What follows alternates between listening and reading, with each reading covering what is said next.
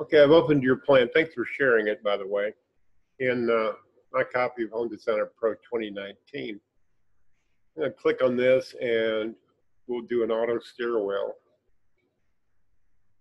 And you have to understand about this software, a lot of its automatic functions are preset by the creators of the, of the software. So it's incumbent upon you when you're doing it. I'm going to create a, oh, angle snaps is off. Let me turn angle snaps on.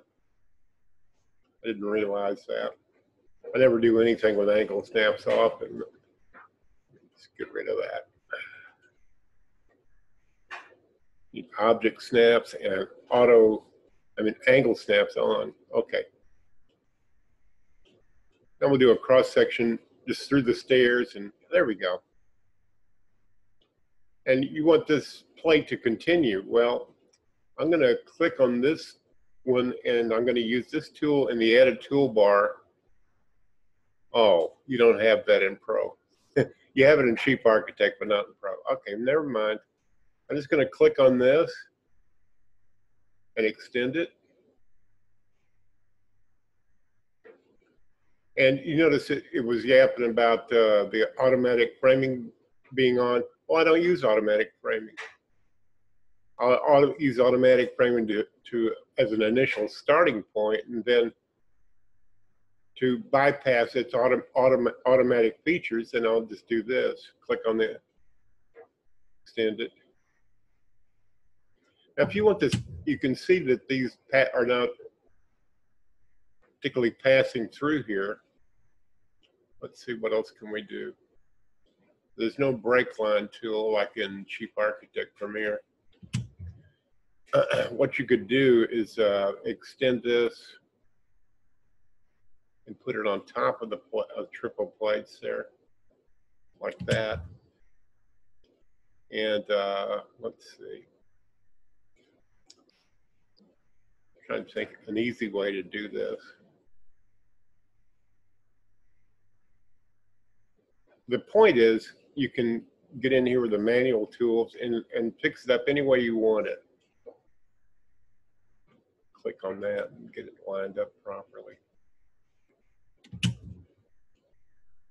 That's not, I'm not being very precise.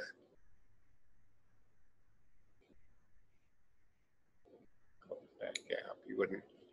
And a, a, framer that, if you show this to a framer, he's not going to frame it goofy. He's, he's going to frame like he would in his uh, own experience.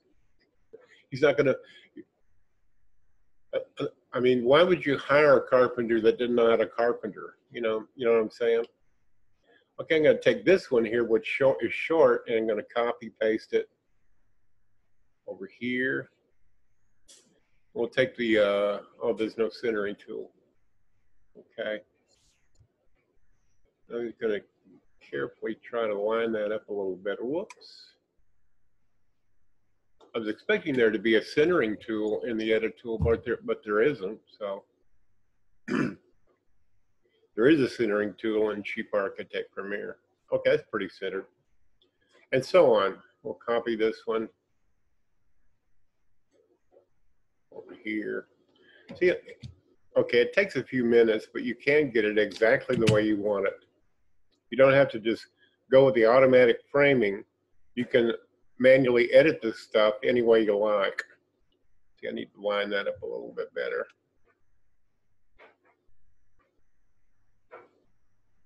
That's better. This one here, click on it, pull it up, put it on top. Take this one, copy it. I mean, the uh, automatic functions do a pretty good job, but they don't do a perfect job, and that it's incumbent upon you to make it look like the way you want it to look. Okay, thanks for watching. That's all I had to comment on this. Have a good day.